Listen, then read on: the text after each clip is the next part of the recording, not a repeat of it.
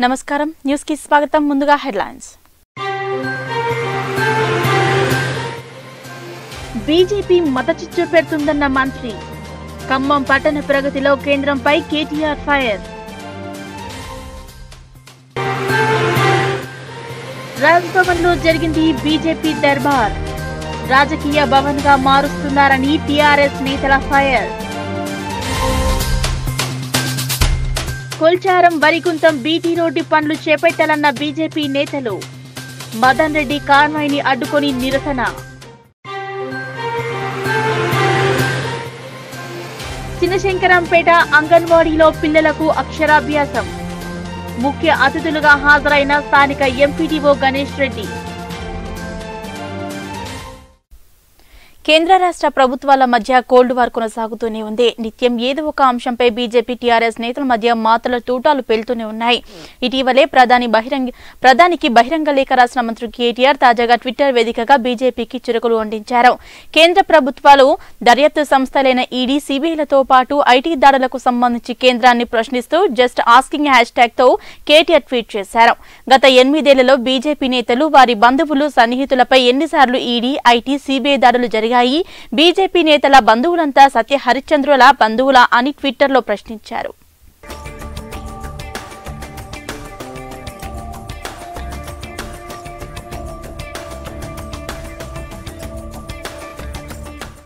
ఖమ్మం జిల్లాలో రాష్ట్ర ఐటీ పరిశ్రమల శాఖ మంత్రి కేటీఆర్ పర్యటించారు. అష్టలక్ష్మి అమ్మవారిని మంత్రులు కేటీఆర్ పువ్వాడ అజయ్ కుమార్ ఎంపీ నామా నాగేశ్వరరావు దర్శించుకున్నారు. అనంతరం లఖారంచురుపై నిర్మించిన కేబుల్ వంతెనను కేటీఆర్ ప్రారంభించారు. పదకొండు పాయింట్ ఏడు ఐదు కోట్లతో తీగల వంతెనను నిర్మించారు. అనంతరం కేటీఆర్ మాట్లాడుతూ ఇవాళ మన దేశంలో ఏం జరుగుతుందో యువత ఆలోచించాల్సిన అవసరం ఉందన్నారు. నిన్న ప్రార్థనల అనంతరం ఇరవై ఐదు కోట్ల మంది ముస్లిం సోదరులు దేశవ్యాప్తంగా నిరసనలు చేపట్టారన్నారు. కులం మతం పేరిట చిల్లరమల్లర రాజకీయాలు చేస్తూ పచ్చగా ఉన్న దేశంలో చిచ్చు పెట్టి ఆ చిచ్చులో చలిమంటలు కాచుకొని నాలుగు ఓట్లు దండుకోవాలని చూస్తున్నారని కేటీఆర్ మండిపడ్డారు. సవ్యమైన పద్ధతుల్లో ముందుకు పోతేనే అభివృద్ధి సాధ్యమవుతుందని కేటీఆర్ స్పష్టం చేశారు. నిన్న మొన్నటిదాకా సావగొట్టింది ఎవడు మనని? వీడు కాదా? యాభై ఏళ్ళు అధికారం ఇస్తే ఏమీ చేయండి ఒక్క ఛాన్స్ ప్లీజ్ ప్లీజ్ ప్లీజ్ అంట. ప్లీజ్ ప్లీజ్ ప్లీజ్ అనగానే అధికారం ఇస్తారా? ప్లీజ్ ప్లీజ్ ప్లీజ్ అంటే తాంబూలం ఇస్తారు లవంగం ఇస్తారు కాదంటే ఒక్కపొడి ఇస్తారు కానీ అధికారం ఇచ్చేస్తారు అవుతానే నేనేమంటున్నా అంటే దయచేసి ఆలోచించండి ఆవేశం ఆవేశపడకండి. ఏం జరుగుతున్నది ఈ దేశంలో? కులం పిచ్చితో ఒకడు కాంగ్రెస్ పార్టీ అధ్యక్షుడు ఉన్నాడు రేవంత్ రెడ్డి. ఆయన బాహాటంగా చెప్తున్నాడు రెడ్లకు పగ్గాలు ఇస్తేనే రెడ్లు ఓట్లేస్తేనే మేము ఖచ్చితంగా అధికారంలోకి వస్తాం. లేకపోతే రామ్ అంటున్నాడు. మరి అజయన్ ఏమంటున్నాడు? అజయన్ ఏమంటుండంటే నాకు ఒక కులం ముఖ్యం కాదు మతం ముఖ్యం కాదు. ఎస్సీలు ఎస్టీలు బీసీలు మైనారిటీలు అందరూ నా వాళ్ళే అని అజయన్ అంటున్నాడు. ఆలోచించండి. ఈ కుల పిచ్చి వాళ్ళు కావాలా? లేదా సమాజాన్ని ఒకటే ఘాటన కులం మతం అనే ప్రాతిపదికన కాకుండా అందరి వాడుగా ఉండాలనే అజయన్న లాంటి కేసీఆర్ నాయకత్వంలో నడిచే నాయకత్వం కావాలా? కులం ఒక్కటే ఓటేస్తే కుల సంఘానికి నాయకుడు అవుతాడు ఎవడైనా. సమాజానికి నాయకుడు కాడు. ఒకడేమో కుల పిచ్చోడు ఇంకోడేమో మత పిచ్చోడు వాడేమో వచ్చి మసీదులు తవ్వుదాం అంటాడు. మసీదులు తవ్వుదాం శవం వెళ్తే మీది శివం వెళ్తే మాది. మసీదులు తవ్వడానికి నేను ఎంపీని చేసింది. మసీదులు తవ్వుదాం ఇది వాళ్ళకు కొడదాం అది వాళ్ళకు కొడదాం. విధ్వంసం తప్ప నిర్మాణం మీద శ్రద్ధ లేదు. అయ్యా బండి సంజయ్ గారు నీకు నిజంగా చేతనైతే నీకు నీ పార్టీకి దమ్ముంటే నీ నరేంద్ర మోడీ ప్రభుత్వానికి చిత్తశుద్ధి ఉంటే తెలంగాణ మీద ప్రేమ ఉంటే ముందు ఒక ప్రశ్నకు సమాధానం చెప్పు. తవ్వుదాం ఎస్ బరాబర్ తవ్వుదాం దేనికి తవ్వుదాం మా బీడు భూముల్లో బ్రహ్మాండంగా ఆ బీడు భూములను తవ్వి నీళ్ళు పారించే ప్రయత్నం చేద్దాం. కొత్త కాలువల కోసం భూములు తవ్వుదాం. కొత్తగా పేదలకు ఇల్లు కట్టడానికి పునాదులు తవ్వుదాం.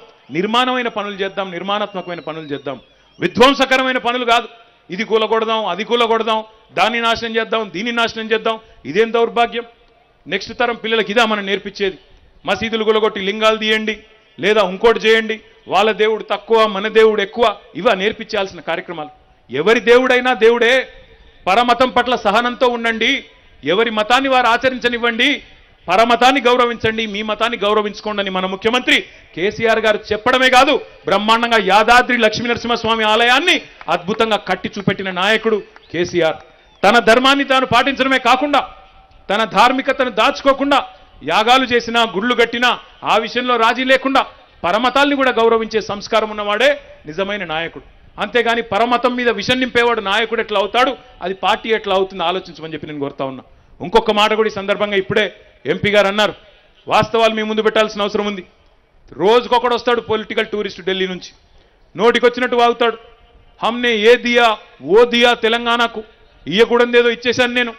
లక్ష కోట్లు ఇచ్చినాను ఒకడంటాడు. నాలుగు లక్షల కోట్లు ఇచ్చినాను ఇంకొకడు అంటాడు. కాదు కాదు ఏడు లక్షలను ఇంకోటి అంటాడు. వాళ్ళు ఇష్టం వచ్చినట్టు నోటికి ఎంత వస్తే అంత. ఇవాళ ఖమ్మం పట్టణం సాక్షిగా ఖమ్మం పట్టణంలోని మా అన్న తమ్ముళ్ళు అక్క చెల్లెల సాక్షిగా మీ ముందు నేను వాస్తవమైన నివేదిక పెడతా ఉన్నా. గవర్నర్ తమిళసై రాజ్ భవన్ను రాజకీయ భవన్గా మార్చారని ఎమ్మెల్యే జీవన్ రెడ్డి విమర్శించారు. గవర్నర్ ప్రజా దర్బార్ నిర్వహించడం ప్రజాస్వామ్య విరుద్ధమని ఆగ్రహం వ్యక్తం చేశారు. దేశంలో ఎక్కడా లేని సాంప్రదాయాన్ని తమిళసై ఇక్కడ తీసుకువచ్చారన్నారు. అది ప్రజా దర్బార్ కాదని పొలిటికల్ దర్బార్ అని విమర్శించారు. అసెంబ్లీలోని టీఆర్ఎస్ శాసనసభ పక్ష కార్యాలయంలో ఎమ్మెల్యే జీవన్ రెడ్డి మీడియాతో మాట్లాడారు. తమిళసై గారు ప్రజా దర్బారు మహిళా దర్బార్ అని పెట్టారు. నిస్సిగ్గుగా. ఇరవై ఎనిమిది రాష్ట్రాల్లో ఎక్కడ కూడా మహిళా దర్బార్ లేదు గవర్నర్ దర్బార్ లేదు. అది గవర్నర్ మహిళా దర్బార్ కాదు అది భాజపా దర్బార్ అని చెప్పి సందర్భంగా నేను తెలియజేస్తా ఉన్నా. రాజ్ భవన్ కాదు అది రాజకీయ భవన్ చేసిర్రు ఈ తమిళసై గవర్నర్ గారు. గతంలో కాంగ్రెస్ బీజేపీ రెండు కూడా గవర్నర్ విషయంలో దొందు దొందే. ప్రధానమంత్రి మోడీ గారు ఈడీ సిబిఐ ఐటీ మూడు అస్త్రాలను వాడుకున్నాడు. ఇప్పుడు నాలుగో అస్త్రంగా గవర్నర్ వ్యవస్థను వాడుకుంటున్నాడు. ఏ ఒక్క బీజేపీ నాయకుడు ఈ దేశంలో ఇంతవరకు ఈడీ సిబిఐ ఐటీ దాడులు జరిగిన వాళ్ళు లేరు. ఆమె గవర్నర్గా రాజ్యాంగబద్ధంగా కొనసాగితే మాకు ఎక్కడ కూడా అభ్యంతరం లేదు. ఒకవేళ నిజంగానే ఆమె రాజకీయాల్లో రావాలని రాజకీయాల్లో ఉండాలని షోకుంటే బండి సంజయ్ను అధ్యక్షుడిగా తీసేసి గవర్నర్ తమిళసైన్ పెట్టండి. ఏమైతే మాకు అభ్యంతరం లేదు. మేము కొట్లాడతాం రాజకీయంగా. ఇవాళ దేశ ప్రజలు రాజ్యాంగానికి విరుద్ధంగా పనిచేస్తా ఉన్నారు. దేశ ప్రధానులు కాంగ్రెస్ వాళ్ళు బీజేపీ వాళ్ళు. దేశానికి ఒక ఆల్టర్నేటివ్ బెస్ట్ కేసీఆర్ అని చెప్పి అన్ని రాష్ట్రాలలో కూడా మద్దతు జరుగుతోంది.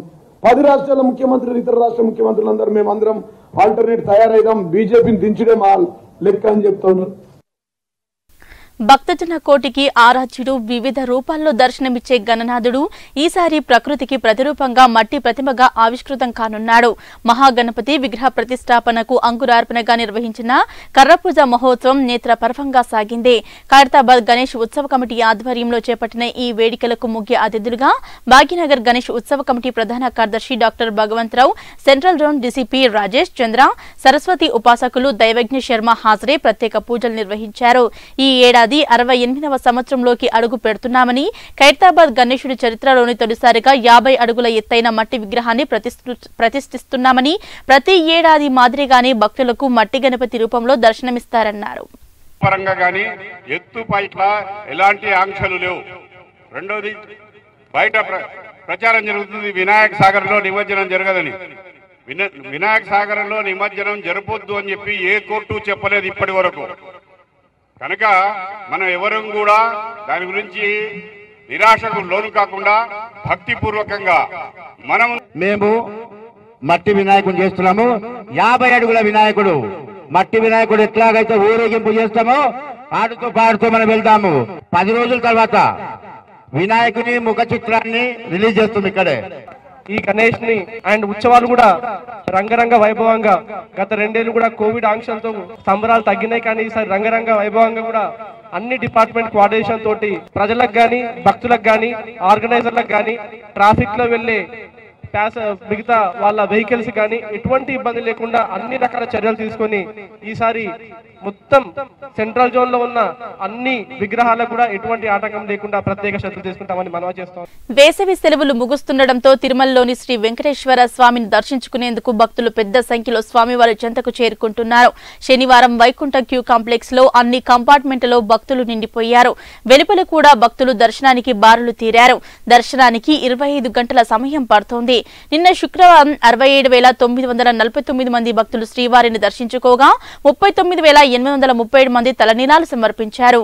భక్తులు సమర్పించుకున్న కాணிకల ద్వారా శ్రీవారి హుండీ ఆదాయం మూడు పాయింట్ ఏడు సున్నా వచ్చింది ఏడు కోట్లు వచ్చిందని టీటీడీ వర్గాలు తెలిపాయి.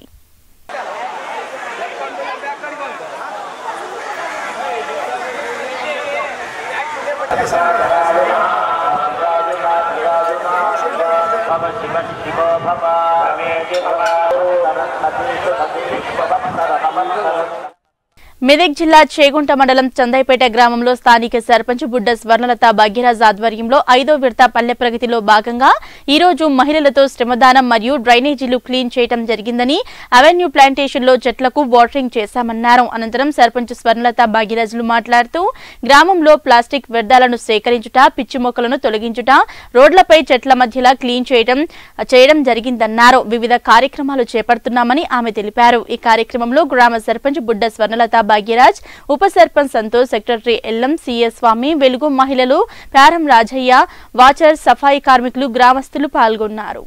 రోజు ఈ రోజు మేము శ్రమదాన కార్యక్రమం మహిళలతో నిర్వహించుకోవడం జరిగింది. అదేవిధంగా మురికి కాలువలను శుభ్రం చేసుకోవడము రెవెన్యూ ప్లాంటేషన్లో చెట్లకు వాకింగ్ చేయడము ఈ ప్రోగ్రాంలన్నీ ఈ రోజు మేము నిర్వహించుకోవడం జరిగింది. ముఖ్యంగా పల్లె ప్రగతిలో భాగంగా శ్రమదాన కార్యక్రమంలో పాల్గొనాలని మహిళలందరూ ఈరోజు నాతో పాటు సహకరించి శ్రమదాన కార్యక్రమంలో పాల్గొన్నందుకు వారికి ధన్యవాదాలు. ఈ కార్యక్రమంలో సెక్రటరీ గ్రామ ఉప సర్పంచ్ వార్డు సభ్యులు గ్రామ ప్రజలు తదితరులు పాల్గొన్నారు. దేశంలో కరోనా కేసులు కలకలం సృష్టిస్తున్నాయి. గత కొన్ని రోజులుగా రోజువారీ కేసుల సంఖ్య గణనీయంగా పెరుగుతుండడం ఆందోళన కలిగిస్తోంది. గత ఇరవై నాలుగు గంటల్లో దేశవ్యాప్తంగా ఎనిమిది వేల మూడు వందల ఇరవై తొమ్మిది మంది కొత్తగా కరోనా వైరస్ బారిన పడ్డారు. గత ఇరవై నాలుగు గంటల్లో నాలుగు వేల రెండు వందల పదహారు మంది మహమ్మారి నుంచి కోలుకోగా పది మంది మృత్యువాత పడ్డారు. ప్రస్తుతం దేశంలో రోజువారీ పాజిటివిటీ రేటు రెండు పాయింట్ నాలుగు ఒకటి శాతంగా ఉండగా వీక్లీ పాజిటివిటీ రేటు ఒకటి పాయింట్ ఏడు ఐదు శాతంగా ఉందని కేంద్ర ఆరోగ్య శాఖ ప్రకటించింది. దేశంలో ప్రస్తుతం నలభై వేల మూడు వందల డెబ్బై యాక్టివ్ కేసులు ఉన్నాయి. చిన్నశంకరంపేట మండల కేంద్రంలోని మూడవ అంగన్వాడీ కేంద్రంలో నూతనంగా ప్రవేశం పొందిన విద్యార్థులకు అక్షరాభ్యాస కార్యక్రమం నిర్వహించారు. ఈ కార్యక్రమానికి ముఖ్య అతిథులుగా స్థానిక ఎంపీడీఓ గణేష్ రెడ్డి సర్పంచ్ రాజురెడ్డిలు హాజరయ్యారు. విద్యార్థులకు ఫ్రీ స్కూల్ బుక్స్ అందజేశారు. అంగన్వాడీ కేంద్రానికి ఏఎన్ఎం నాగలక్ష్మితో పాటు ఆశా వర్కర్లు కుర్చీలను బహుకరించారు. అనంతరం సర్పంచ్ రాజురెడ్డి అంగన్వాడీ టీచర్ నాగరాణి ఎంపీడీఓ గణేష్ రెడ్డిలు మాట్లాడుతూ ప్రైవేటు పాఠశాలల్లో విద్య బోధిస్తున్న విధంగానే అంగన్వాడీ కేంద్రంలోనూ సైతం పిల్లలకి ఇంగ్లీష్ బోధన చేయడం జరుగుతుందన్నారు. ఈ కార్యక్రమంలో ఎంపీడీఓ గణేష్ రెడ్డి ఎంపీఓ గిరిధర్ రెడ్డి స్థానిక సర్పంచ్ రాజరెడ్డి ఉప సర్పంచ్ చిరంజీవి అంగన్వాడీ కార్యకర్తలు ఆశా వర్కర్లు ఏఎన్ఎం నాగలక్ష్మి తదితరులు పాల్గొన్నారు.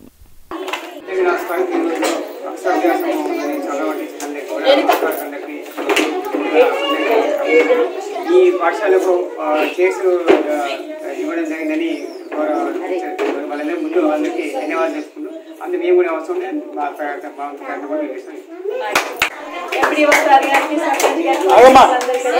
నమస్కారం మా అంగన్వాడీ స్కూల్లో ప్రైవేట్ స్కూల్లోనే చెప్తారు చదువు అంగన్వాడీ స్కూల్లోని చులకన చూడకండి సార్.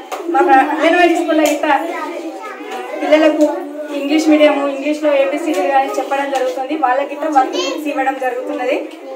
పిల్లలకు గవర్నమెంట్ స్కూల్లో ఖచ్చితంగా అంగన్వాడీలో చేర్పించాలి. ప్రైవేట్ స్కూల్లో మాత్రము చే- సార్. మేము గిట్ట నాణ్యతమైన విద్యను అందిస్తాము. మాకు ఈ సంద ఈ రెండు వేల ఇరవై రెండులో ఆశా వర్కర్లు డొనేషన్గా చైర్ ఇవ్వడం జరిగింది. ఇంకా నాగలక్ష్మి గారు లలిత గారు రేణుక ఈ చేర్ ఇవ్వడం జరిగింది సార్ డొనేషన్గా. మీరు ఇట్లా పెట్టమంటుంది మా చిన్నపిల్లలకు ఏదైనా డొనేషన్గా ఇవ్వగలరని కోరుతున్నాను సార్.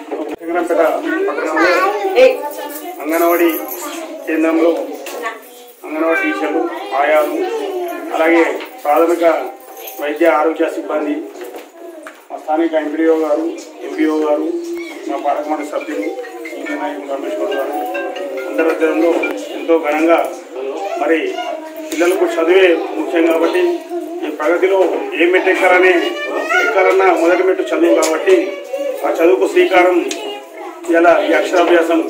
మరి ఈయన ఎంతో సంతోషంగా ఉంది. చాలా మంది పిల్లలు ఇక్కడ తీసుకొచ్చి మరి అంగన్వాడీ టీచర్లకు మరి ఆయనకు కూడా మేము ధన్యవాదాలు తెలియజేస్తున్నాం.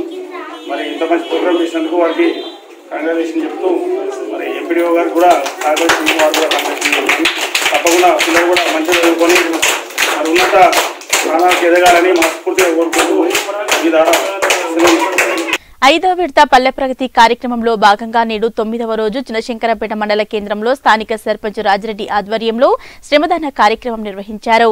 మండల కేంద్రంలోని గ్రామ పంచాయతీ కార్యాలయం నుంచి స్థానిక బస్టాండ్ వరకు రోడ్డుకు ఇరువైపులా చెత్తను తొలగిస్తూ రోడ్డుపై ఉన్న చెత్తను పూడ్చివేశారు. అనంతరం సర్పంచ్ రాజిరెడ్డి మాట్లాడుతూ పల్లెలు బాగుంటేనే పట్టణాలు బాగుంటాయన్నారు. ఈ కార్యక్రమంలో స్థానిక సర్పంచ్ రాజిరెడ్డితో పాటు ఎంపీడీఓ గణేష్ రెడ్డి ఎంపీఓ గిరిధర్ రెడ్డి ఉప సర్పంచ్ చిరంజీవి పంచాయతీ కార్యదర్శులు కార్మికులు అంగన్వాడీ కార్మికులు ఆశా వర్కర్లు మాజీ వార్డు సభ్యులు రమేష్ కోర్ తదితరులు పాల్గొన్నారు.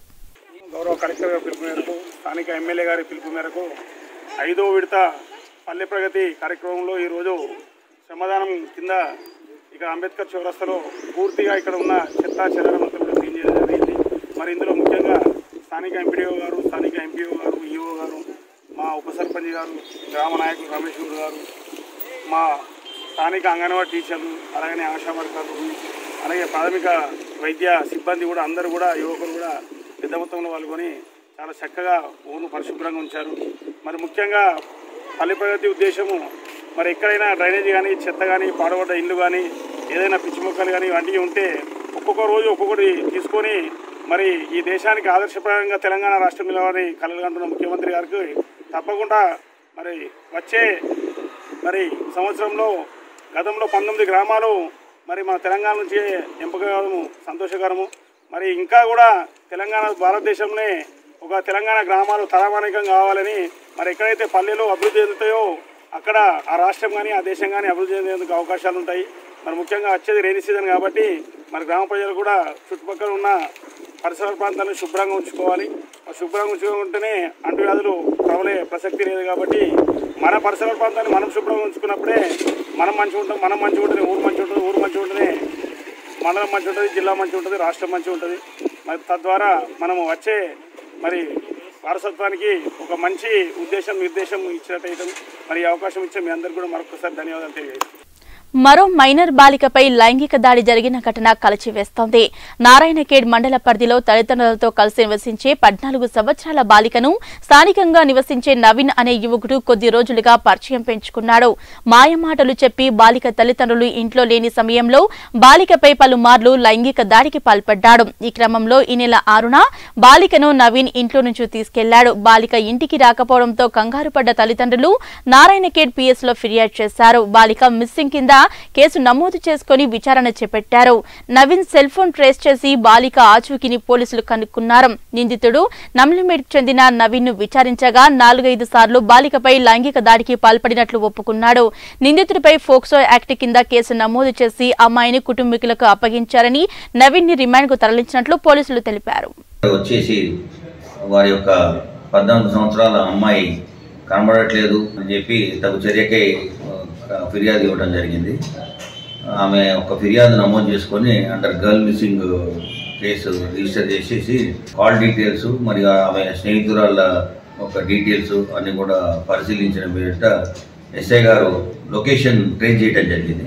ట్రేస్ చేసిన తర్వాత ఆమెని లొకేషన్ నుంచి కూడా ఇక్కడికి పట్టుకొచ్చిన తర్వాత ఆమెని విచారించగా ననివీన్ అనే వ్యక్తి పరిచయం చేసుకొని అత ఆమెతోటి అక్రమ సంబంధం పెట్టుకోవడం జరిగిందని చెప్పేసి అమ్మాయి పద్నాలుగు సంవత్సరాల వయసు మూలంగా ఆ మిస్సింగ్ కేసుని పోక్సో యాక్ట్కి మళ్ళీ సెక్షన్ ఆల్టరేషన్ చేసి నేను యాజ్ అ డిఎస్పీగా టేకప్ చేసి అతన్ని ఇవాళ కూడా దర్యాప్తు అంతా కంప్లీట్ చేసి ఇప్పుడు కోర్టుకి రిమాండ్ పంపించడం జరుగుతుంది.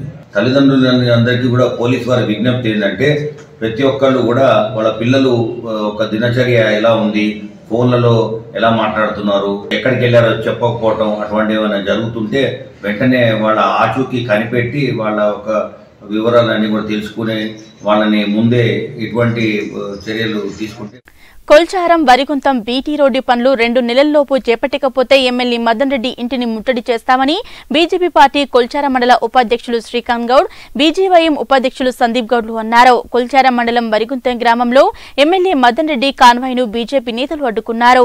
బీటీ రోడ్డు దుస్థితిని వివరించారు. రోడ్డు పూర్తిగా కంకర తేలి ఉండడంతో తరచూ ప్రమాదాలు జరుగుతున్నాయని మదన్ రెడ్డికి తెలిపారు. రోడ్డు పనులను రెండు నెలలలోపు ప్రారంభించకపోతే బీజేపీ పార్టీ ఆధ్వర్యంలో పెద్ద ఎత్తున నిరసన కార్యక్రమాలు చేపడతామని శ్రీకాంత్ గౌడ్ సందీప్ గౌడ్లు తెలిపారు.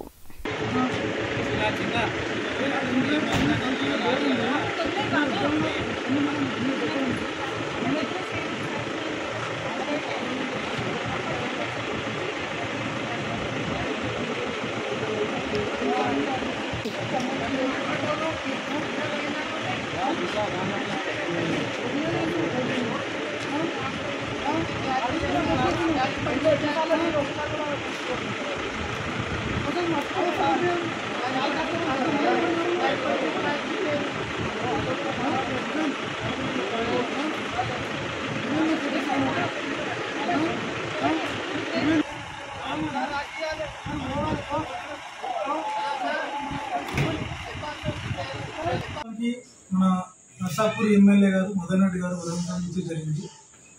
వరిగొంతం రోడ్డు కోసం ఎన్నిసార్లు విన్నపం చేసినా కానీ పట్టించుకోవడం లేదు. అలాగే కొల్చూరు వరిగంతం వరకు నాలుగు కిలోమీటర్ రోడ్డుని ఆరు సంవత్సరాల నుంచి కూడా చెప్పడం జరుగుతుంది. మన లోకల్ మండలంలో నాయకులు కానీ నర్సాపూర్ నాయకులు కానీ ఎవరు పట్టించుకోవడం జరుగుతలేదు ప్లస్ ఏంటంటే ఈ రోడ్డు ప్రమాదం వల్ల ఎంతమంది చనిపోయినా కానీ ఎమ్మెల్యే గారు దృష్టికి పోయినా కానీ పట్టించుకోవడం జరుగుతలేదు. గత ఎలక్షన్లో పరిమితానికి వచ్చి కూర్చొని కూర్చేసుకుని కూర్చొని నిజామాబాద్ జిల్లా బోధన్ మండలం హుంసా గ్రామంలో ఎమ్మెల్యే షకిల్కు నిరసన సెగ తగిలింది. గ్రామంలో దళిత బంధు స్కీమ్ కింద ఓ షాపు ప్రారంభోత్సవానికి వెళ్ళిన శాసనసభ్యుడు షకిల్ను గ్రామస్తులు అడ్డుకున్నారు. డబుల్ బెడ్రూమ్ ఇల్లు పెన్షన్లు రావటం లేదంటూ ఎమ్మెల్యేను నిలదీశారు. గ్రామంలో ఇలాంటి అభివృద్ధి జరగలేదంటూ మండిపడ్డారు. దీంతో ఎమ్మెల్యే షకిల్ అక్కడి నుంచి వెళ్ళిపోయారు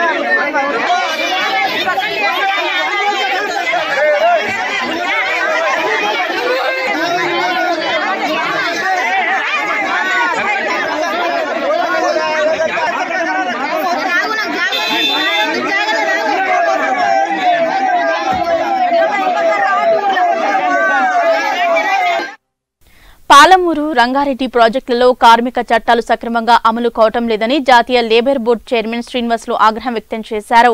కార్మిక చట్టాల ఉల్లంఘనలు రాష్ట్ర ప్రభుత్వమే దోషి అని ఆరోపించారు. ఈ మేరకు కేంద్రానికి పర్యావరణ ఉల్లంఘనలపై ఎన్జీటీకి నివేదిక సమర్పిస్తామన్నారు. ఆయన Palamuru Rangareddy ప్రాజెక్టులలోని Vattem Narlapur underground pump house surge pool head regulator పనులను పరిశీలించారు. అక్కడ రక్షణ భద్రతా ప్రమాణాలు పట్టించుకోవటం లేదని గుర్తించారు. ఇతర రాష్ట్రాల నుంచి వలస వచ్చిన కార్మికులు లేబర్ కాంట్రాక్టర్ల వివరాలు లైసెన్స్ తదితర అంశాలపై ప్రశ్నించగా ఆఫీసర్లు అందుబాటులో లేవని చెప్పడంతో మండిపడ్డారు. లేబర్ లైసెన్స్ లేకుండా ఆరున్నర ఏండ్లుగా ఇతర భారీ ప్రాజెక్టులను ఏ విధంగా కొనసాగించారని నిలదీశారు. చట్టాలను కూడా ఇంప్లిమెంట్ చేయకుండా ఇక్కడ రాష్ట్ర గవర్నమెంట్ స్టేట్ గవర్నమెంట్ ఎలా పర్మిషన్ ఇచ్చింది అనేది నా పాయింట్ ఇది కాబట్టి అనేక వేల మంది ఈ పాలమూరు రంగారెడ్డి ఎత్తిపోత ప్రాజెక్టులో కార్మికులు పనిచేస్తూ ఉన్నారు. అనేక వందల మంది దీంట్లో చనిపోయారని చెప్పేసి కూడా నేను ఇవాళ నాకు రిపోర్ట్ రావడం జరిగింది. అదేవిధంగా పర్మనెంట్ డిజబుల్ కావడం కూడా వాళ్ళు యాక్సిడెంటల్గా అవడం అనేది కూడా జరిగింది కాబట్టి వీరందరినీ కూడా ఏదైతే వలస కార్మికులు ఉన్నారో వీరందరినీ సేఫ్టీ మెజర్స్లో రాష్ట్ర ప్రభుత్వం కాపాడాల్సిన బాధ్యత రాష్ట్ర ప్రభుత్వం మీద ఉంది కాబట్టి రాష్ట్ర ప్రభుత్వం మీద బాధ్యత వహించాలని చెప్పేసి కూడా ఈ సందర్భంగా నేను వరంగల్ నగరంలో విషాద ఘటన చోటు చేసుకుంది. నగరంలోని చార్బౌలిలోని ఓ పాత భవనం కూల్చివేస్తున్న క్రమంలో ఒక్కసారిగా భవనం ప్రహారీ గోడ కూలింది. దీంతో గోడ కింద ఇద్దరు కూలీలు చిక్కుకుపోయి ప్రాణాలు కోల్పోయారు. మరో ఇద్దరు కూలీలకు తీవ్ర గాయాలయ్యాయి. గాయాలైన వారిని ఎంజీఎంకి తరలించారు. కూలీలు నలుగురు వరంగల్ ఎనమాముల మార్కెట్ సుందరయ్య నగర్కి చెందిన వారుగా పోలీసులు గుర్తించారు.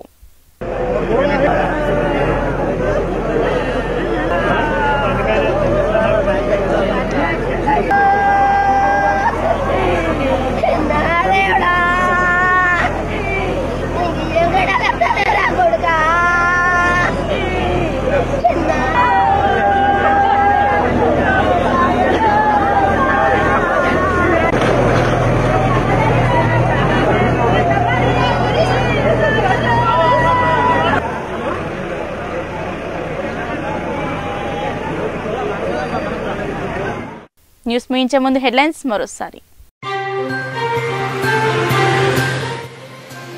బీజేపీ మతచిచ్చు పెడుతుందన్న మంత్రి. ఖమ్మం పట్టణ ప్రగతిలో కేంద్రంపై కేటీఆర్ ఫైర్.